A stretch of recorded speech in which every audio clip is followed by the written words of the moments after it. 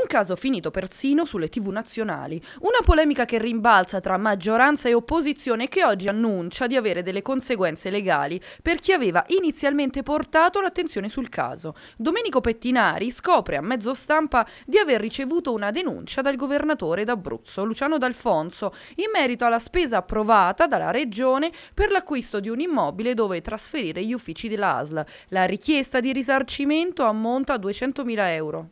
Il motivo perché tra le varie attività di sindacato ispettivo ho fatto un'inchiesta sulla eh, palazzina dell'ALS di Pescara che ci costa un costo complessivo dell'operazione 7 milioni di euro, 2 milioni e 800 mila euro per acquistarla e 4 milioni per ristrutturarla. A mio avviso è una spesa inutile, ribadisco che è una spesa inutile perché all'interno dell'ALS di Pescara ci sono eh, strutture vuote, inutilizzate che potrebbero essere ristrutturate. Pettinari si dice tranquillo, esistono documentazioni e carte che attestano le sue dichiarazioni e il fatto di aver ricevuto un atto così forte da parte della massima carica politica abruzzese sembra per lui un attestato di stima e di buon operato.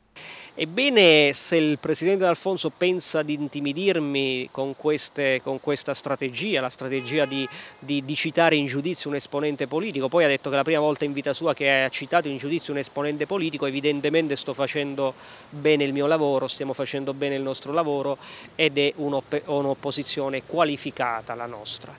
E non ultimo apprendiamo sempre dalla stampa che addirittura lui vuole mettere il bavaglio alle opposizioni, infatti ha parlato per la prima volta di introdurre la fiducia, il voto di fiducia alla Regione Abruzzo, vale a dire che vorrebbe modificare lo statuto e il regolamento per bloccare l'ostruzionismo, bloccare i diritti e le prerogative delle opposizioni quando loro ne ritengono eh, eh necessari. Questa è un'altra situazione assurda, è un bavaglio, non lo permetteremo, ma sicuramente, ribadiamo, non ci lasceremo intimorire, andiamo avanti, andiamo avanti più forti di prima.